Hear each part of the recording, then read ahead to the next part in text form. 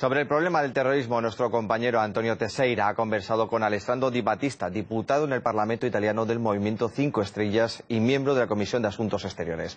En su opinión, la única vía para combatirlo es colaborar más y contarle el aire, porque, según señala, las potencias saben perfectamente cómo se lleva a cabo la financiación de estos grupos, aunque digan lo contrario.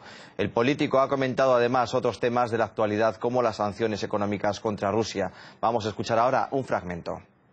¿Es posible para usted en 2016 que con tecnología sabemos cualquier cosa a través de celulares del mundo, no conocer exactamente, o ellos dicen que no conoce exactamente la forma de, financiamiento de los terroristas del Estado Islámico? ¿Es aceptable o es, un insulto a la inteligencia, digamos, colectiva?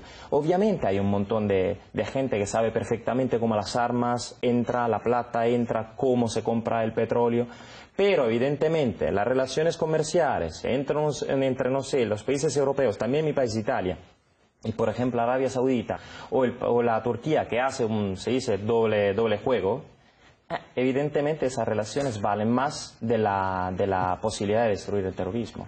El punto es, para mí el punto es esto, hay que quitarle aire al terrorismo. Desde que mm, hubo el atentado en las Torres Gemelas, se invirtieron en la lucha contra el terrorismo casi 4.400 mm, trillones de dólares.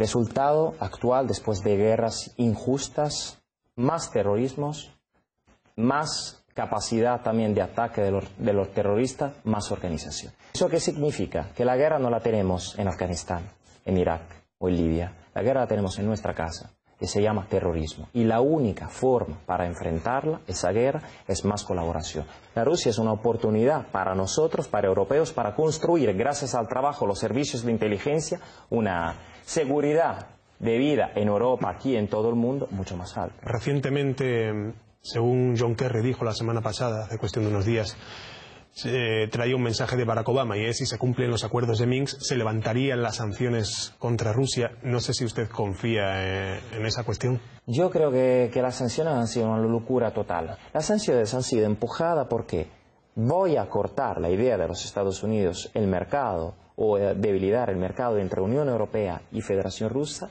y la parte del mercado que se va a perder me la voy a chupar yo directamente a los Estados Unidos. Entonces, para mí esas sanciones han afectado más Italia, Francia y otros países de la Unión Europea que la Federación Rusa.